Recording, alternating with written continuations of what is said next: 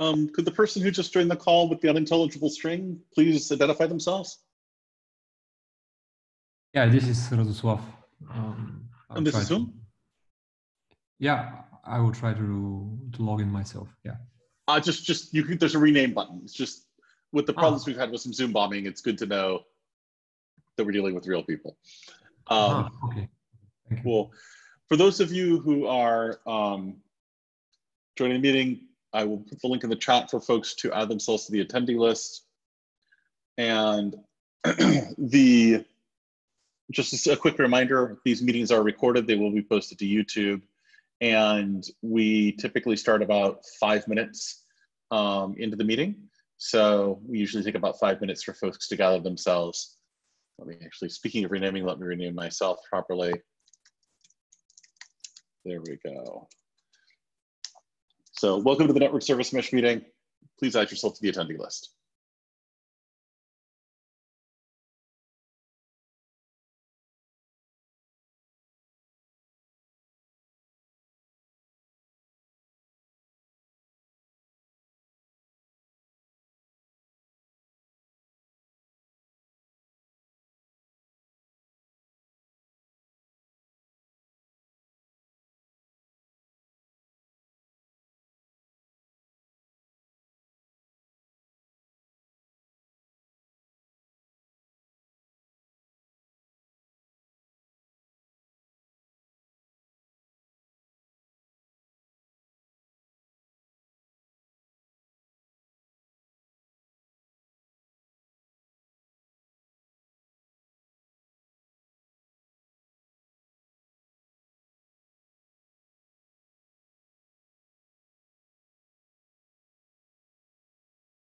We'll give it a couple more minutes and we'll get started.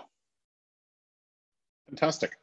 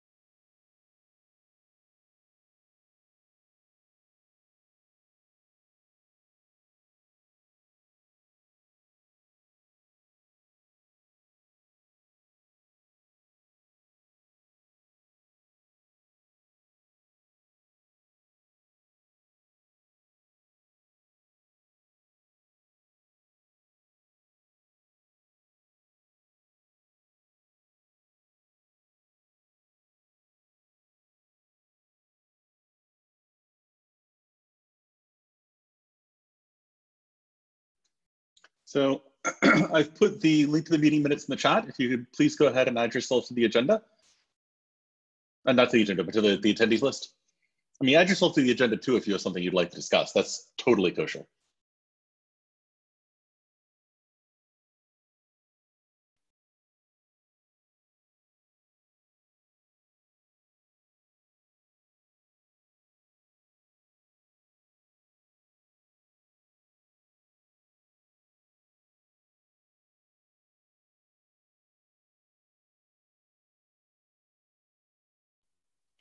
Okay, we are five after the hour, so let's go ahead and get started. So, welcome to the next Network Service Mesh meeting. Uh, this call occurs every Tuesday at 8 a.m. Pacific. We Um, Nikolai, are we still running the uh, Asia-friendly calls? Um, I, I know you recently switched uh, to a new position, so is, is that something that's still running? Is he on the call? Because I I, I think he's. Not. I might not be. That that yeah, that's probably that's probably quite the problem. I will uh, reach out to him afterwards. So we tend to run a uh, to, to run one every other week. Um, but we had Nikolai just uh, had a, uh, job change, and so he's still uh, working with the network service mesh community. It's just uh, I don't know if that time will will work for for Nikolai, but uh, it is possible that perhaps one of our other uh, colleagues in the NSM community may pick it up. So, anyways, I will I will work that out and I will report to the results back next week. Um, we yeah, also actually, sorry, Frederick. Usually on this meeting, uh, join it only uh, Xored and the VMware folks. So I'm not fully sure if the Asia call is uh, so strongly required. Yeah, that makes sense. And so um, ultimately, it's the decision for for uh, the people attending, for all of you, if you want to continue it or, or not.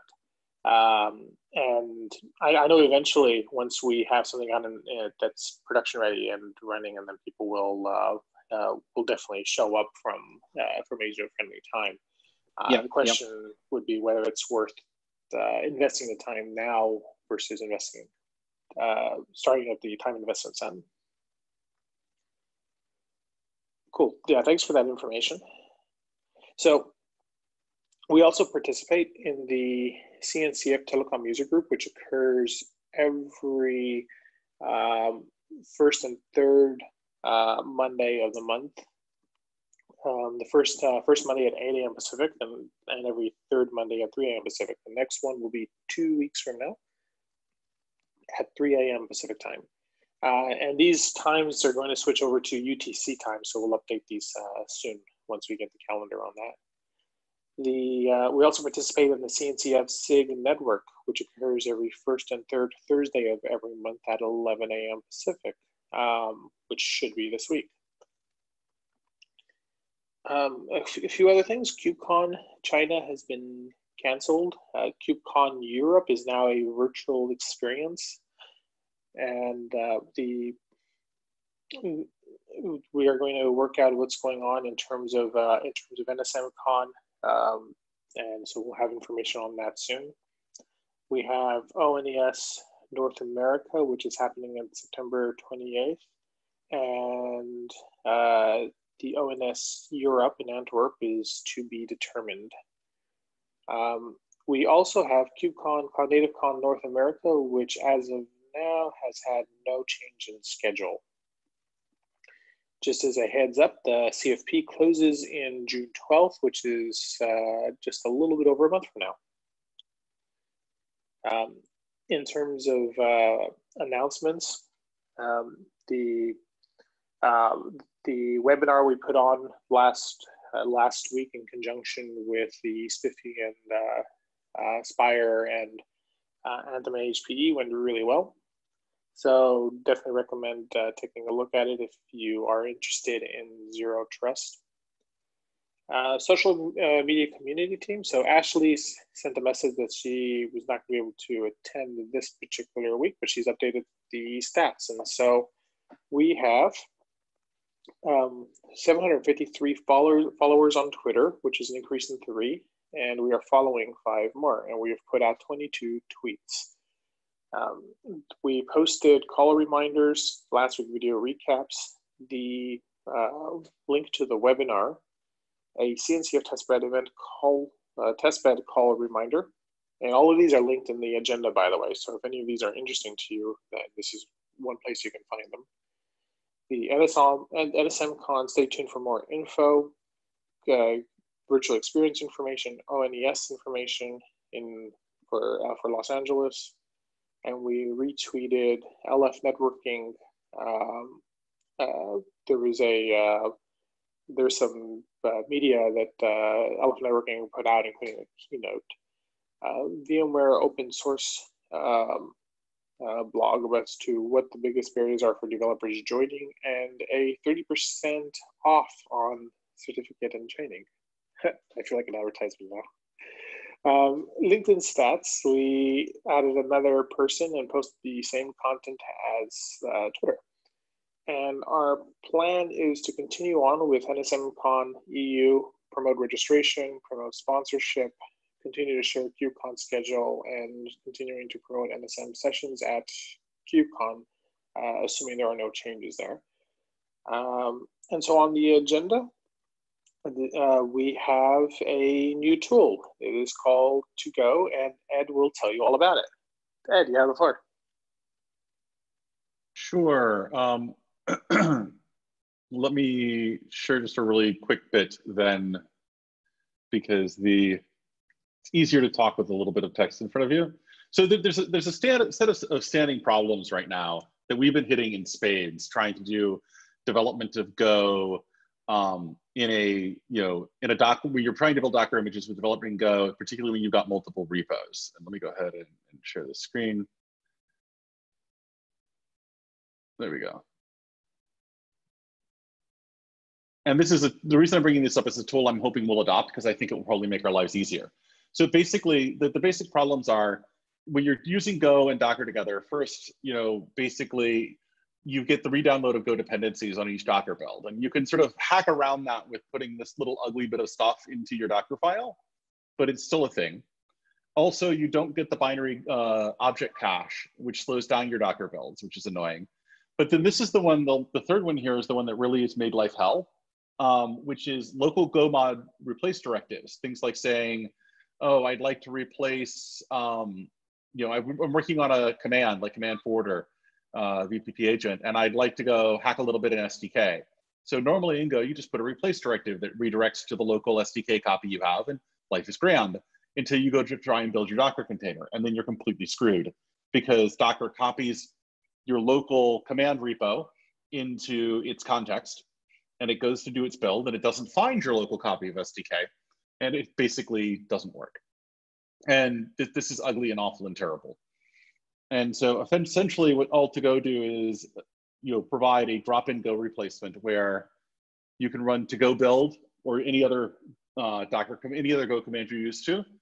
And it will effectively create a local cache in a to go directory uh, within your current directory that will be picked up by Docker.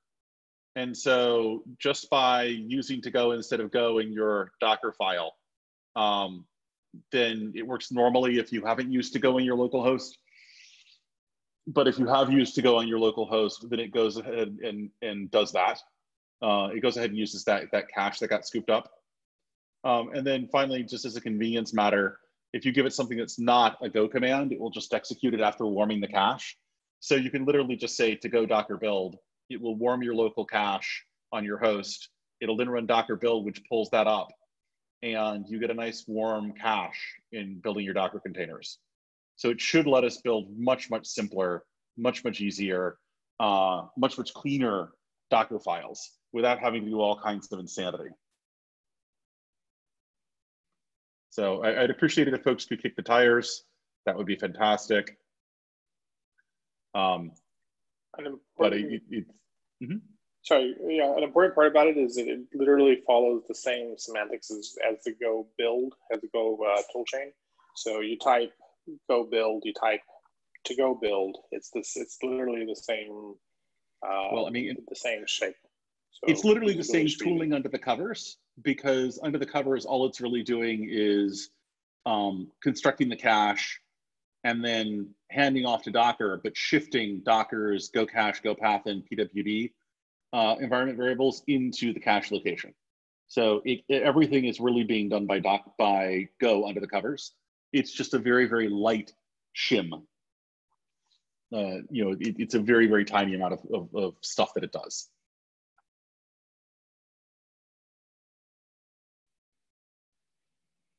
So um, the hope is we can start using this in network service mesh uh, fairly soon. But again, tire kicking would definitely be welcome. Any questions from folks about this or comments or?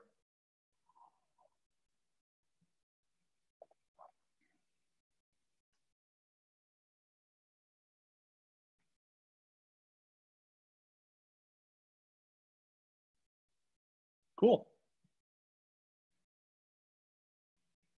So one other um, interesting thing as well is um, this should also work on other platforms as well. So uh, it definitely works on OS X because that's what Ed develops on. And then we have Linux support uh, should be there uh, quite naturally because uh, that's what NSM is developed on and compiles against. And so that leaves uh, the only other area that, that needs to be tested out and, and to see if it works or not is going to be the uh, Windows environments, which for the NSM community is, uh, is secondary. Um, but uh, if anyone has an interest in, in that space, definitely feel free to give it a shot and see it work. Uh, the Windows, just like Linux, also has the capability to create hard links, and that's the only requirement is that you're you can create links in your file system.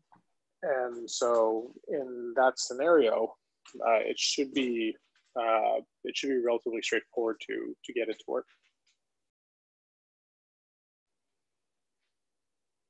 Um, cool. So in terms of, uh, of agenda, uh, is there anything else that anyone would like to, to discuss?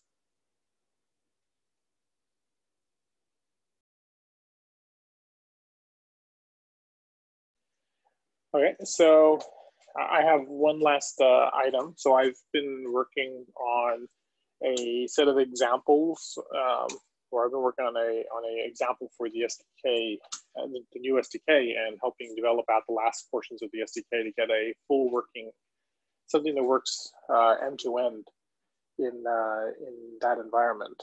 So in the near future, I will have some uh, some working information on how to develop uh, against the, the new SDK, which will include information on how to develop new network service endpoints and information on how to contribute to NSM directly. Interestingly, the, uh, the overlap between network service endpoints and NSM itself are now extremely similar. The, network service uh, uh, manager and network service registry all end up looking like uh, network service endpoints in terms of their in terms of their APIs.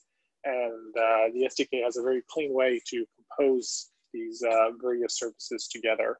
So uh, we will have more information on that. And if you know how to develop a network service endpoint, of which the there's a very basic pattern to do so, then that means you can literally create functionality for uh, internal NSM without uh, without having to know about how everything works internally. You can focus on the logic of your of your application um, in a very tight way, and the system will compose nicely with uh, with the rest as long as as long as you follow uh, certain uh, as long as you follow certain patterns, and those patterns are uh, they are will be document uh, they'll be documented in more detail as, as we continue forward. Cool. Well, I don't have anything else. So if there is nothing else, then uh, we will conclude. So last call. Okay. Well, thank you everyone for attending and we will see you again at the same time next week. Take care. Bye. Bye bye.